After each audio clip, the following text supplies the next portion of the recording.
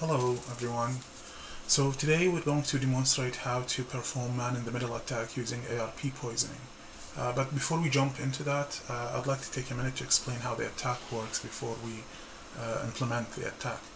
So let's assume in a scenario where we have two computers A and B and it could be a server and a malicious actor that has access to the physical network on a, a switch for example.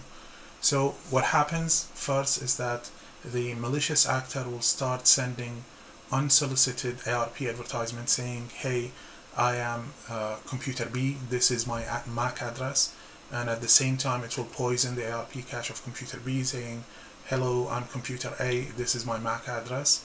Uh, once, and, and this, these ARP, unsolicited ARP messages keep flowing from computer M to both of, of these computers to uh, ensure that the uh, actual computer does not send anything directly without passing through uh, the malicious uh, side. Uh, once the ARP tables are poisoned, when A wants to send anything to uh, B, it would automatically send it to M based on the MAC address of M, and M will get a copy of it.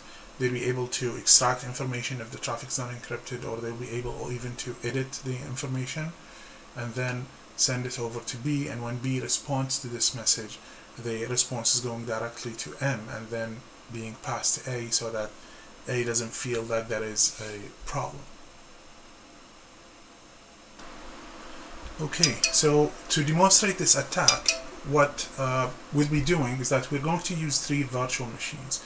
Three virtual machines that I have here is a Kali machine to perform the attack, a Parrot machine acting as the client, and a web server uh, so the Kali machine will be the man in the middle between the Parrot machine and uh, DC6, the web server. Okay, so uh, we'll start first by getting to know the IP address of the client machine. You can see um, this is the IP address 132 that makes it our first target uh, let's assume that we don't have access to the web server. We'll just do simple scanning from the Kali machine. Uh, my Kali setup has two interfaces. So when I do the scan, I'm going to, just to clarify, um, one side is connected to the internet and the other side is connected to uh, the internal network. So uh, this is the one that's connected to the internal network. You can see 132 uh, was the Parrot machine and 136 is my machine. So I'll do a simple nmap with the Ethernet 1 interface, simple network scan 192.168.149.0 over 24.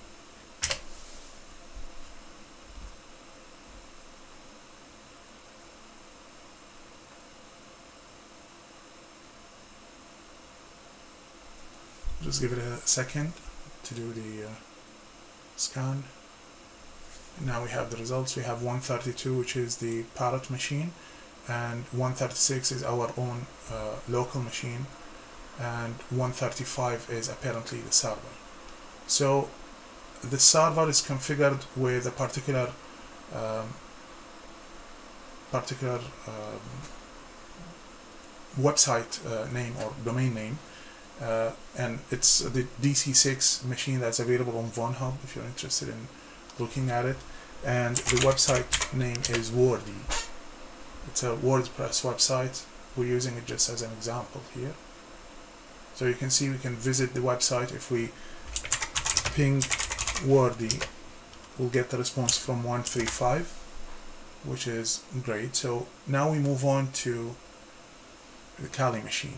So the first thing to do before we start the tool, we're going to use EtherCAP. Before we start using the tool, we're going to enable forwarding information.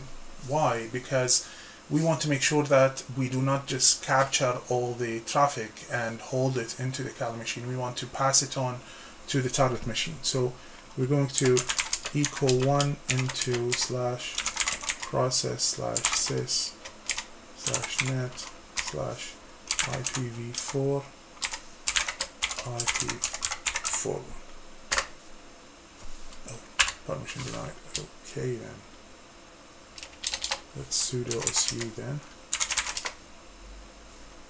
And equal okay that's already there. Now with that enabled I'm going to exit from the root and go ahead and start EtherCAP so this is the tool EtherCAP graphical it requires admin access of course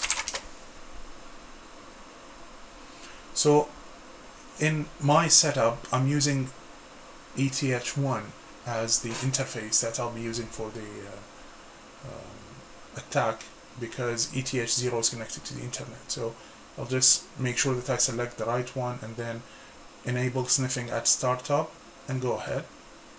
It started sniffing. Uh, what I can do first is search for available hosts. It's scanning the available hosts on that local network. Now we have a host list. If you click here, you will see the available host list. Our targets are basically 132 and 135. So what do we do?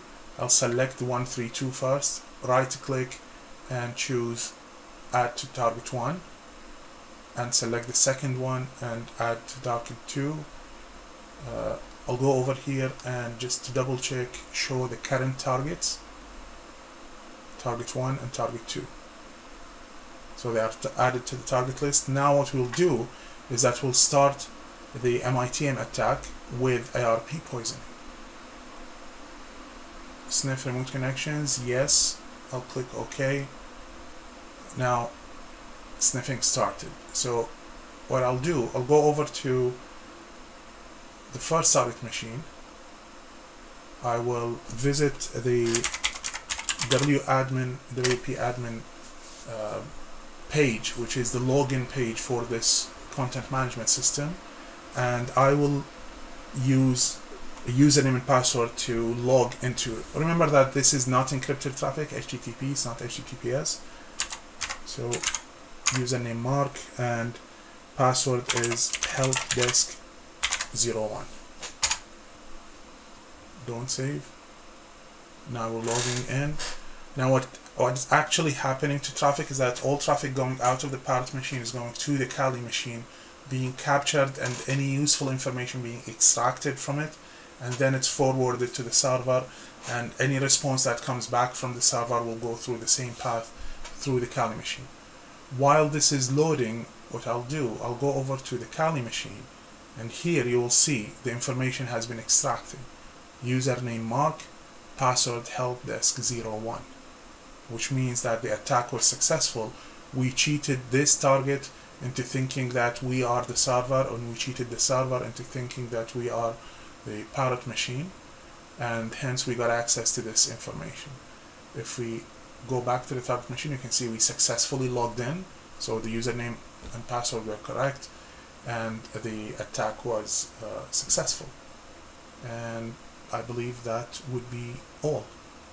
Thank you for watching the video and don't forget to subscribe.